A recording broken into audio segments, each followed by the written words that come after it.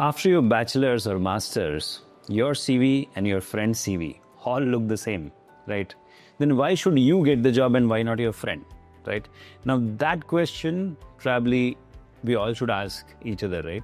Now, the answer to this is you need to know some smart hacks. Now, these smart hacks will help you stand out in front of the recruiters. Now, the first among them is to use a strong summary. Biotech postgrad with specialization in CRISPR with hands on NGS experience in data analysis, something like that.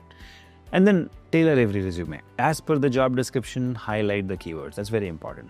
And the third tip will be highlight the translational impact. For example, instead of saying worked on protein purification, say that optimized protein purification improving yield by 35%, enabled downstream vaccine development. Now, these kind of statements you have to use, action statements. Then you can showcase your soft skill. Don't just write team player. Instead, write led a team of five uh, people in cell line development project, presented findings in institutional symposium, something like that then uh, probably you can add some tools and technologies. Like sometimes the recruiters, they, the moment they see your CV, they will do a control F and look for that particular keyword, right? So if you have done the tools like PCR, HPLC, Python, MATLAB, PyMol, whatever, so you have to include that in your CV because they will do a control F and they will search in your CV if those skill set is there or not.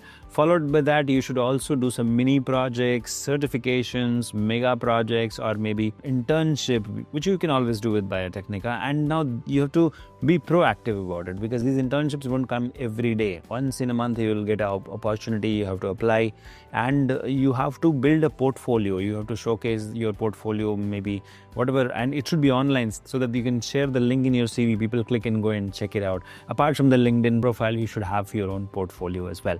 Now, apart from this, also make sure that your email ID is clean. It should not be something rockstar eh, underscore sanjeev at gmail.com. That will not work, okay?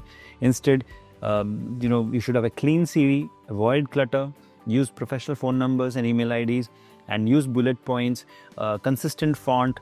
Make sure you use tools like ChatGPT, Novo Resume, or Canva. You know, design it better, and also make sure that you highlight your core competency somewhere in your CV. Now, if you've done all of this, this is going to be a game changer for you.